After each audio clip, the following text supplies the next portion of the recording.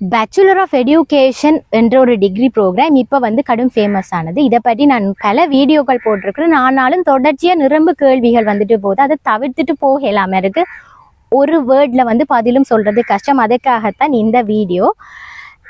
இதுக்கு மேலதிகமாக உங்களுக்கு தகவல்கள் தேவைப்பட்டால் அதுவும் திறந்த பல்கலைக்கழகம் தொடர்பாக தகவல் தேவைப்பட்டால் பக்கத்தில் இருக்கிற சென்டருக்கு போய் தகவல் அறிஞ்சு கொள்ளுங்க. ஏனென்றால் நான் இப்போ திறந்த பல்கலைக்கழகத்தை தொடர்ச்சியாக வந்து வேலை செய்யலை.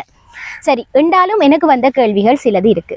எனக்கு இப்போ ஒரு முப்பத்தெட்டு வயது ஆகுது ஒரு முப்பத்தஞ்சு வயது ப்ளஸ் ஆகிட்டு நான் பிஎட் படிக்கலாமா? தாராளமா. ஓப்பன் யூனிவர்சிட்டியில் படிக்கிறதா இருந்தால் உங்களுக்கு இருக்கிற தகைமைகள் வந்து மிக முக்கியமானது. பதினெட்டு வயதுக்கு மேற்பட்ட. நீங்க பதினெட்டு வயதுக்கு மேற்பட்டா முப்பது வயதுல ஸ்டார்ட் பண்ணலாம். ஈவன் ஐம்பது வயதுல டிகிரி ஸ்டார்ட் பண்ணவங்க கூட இருக்கிறாங்க. ஸோ அது உங்களுக்கு ஒரு தடை இல்லை. ஆனால் நீங்கள் என்ன ஒரு தேவைக்காக நீங்கள் பிஎட் படிக்கிறீங்கன்றத வந்து நீங்கள் டபுள் செக் பண்ணணும். சிலர் வந்து பலரும் நினைச்சு கொண்டிருக்கிறது பிஎட் படித்த உடனே வந்து டீச்சிங் அப்பாயின்மெண்ட் கிடைக்கும். அப்படி இல்லை. டீச்சிங் அப்பாயின்மெண்ட் வந்து உங்களுக்கு ஈஸியாக கிடைக்கும். அதுவும் கிரேட் டூ டூவில் கிடைக்கும். ஈஸியான்றதுக்கு காரணம் அது ஒரு அடிஷனல் குவாலிஃபிகேஷன் தாரதால உங்களுக்கு பெரிய ஹைலி காம்படிட்டிவ் எக்ஸாம் வந்து இருக்காது. ஆனாலும் அதற்கு கவர்மெண்ட் அப்ரூவல் தரணும் ட்ரெஷரி அப்ரூவல் தரணும் வேகன்சிஸ் இருந்தால் மட்டும்தான் அது பாசிபிள் ஸோ அதை நீங்கள் மிகவும் முக்கியமாக தெரிஞ்சு வச்சுக்கொள்ளணும். அதே நேரம் டீச்சிங் அப்பாயின்மெண்ட் எடுக்கக்குள்ள ஒரு வயதில்லை என்றது அவங்க மிக முக்கியமாக குறிப்பிடுவாங்க. ஸோ இந்த டிகிரி வந்து நாலு வருஷம்.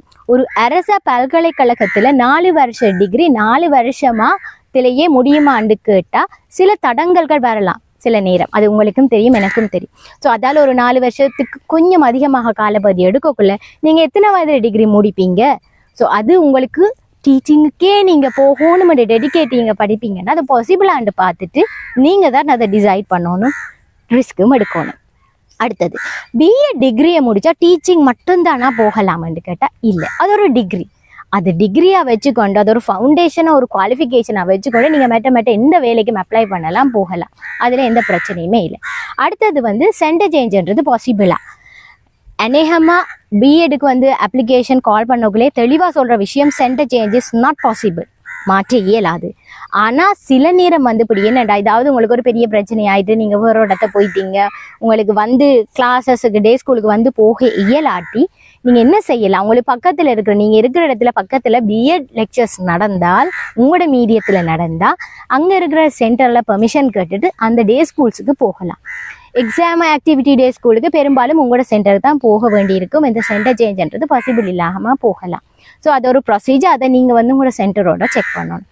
ஸோ அதால் வந்து அடுத்த முக்கியமான விஷயம் பிஎட் படித்தோன்னு எனக்கு கவர்மெண்ட் வீட்டை வந்து அப்பாயின்மெண்ட் லெட்டர் தருவாங்க என்று நம்பிக்கொண்டு இருக்க வேணாம். உங்களுக்கும் ஒரு போட்டி இருக்குது. அதுக்காக படிக்க வேணாம் என்றும் சொல்லலை. உங்களை சுற்றி இருக்கிற போட்டியையும் யதார்த்தத்தையும் புரிஞ்சு கொள்ளுங்க என்று சொல்கிறது தான் இன்னும் மேலதிகத்துக்கு டீடைல்ஸ் தேவைப்பட்டால் பக்கத்தில் இருக்கிற சென்டரை போய் கட்டாயமாக டீடைல்ஸை கேட்டு தெரிஞ்சுக்கொள்ளுங்க.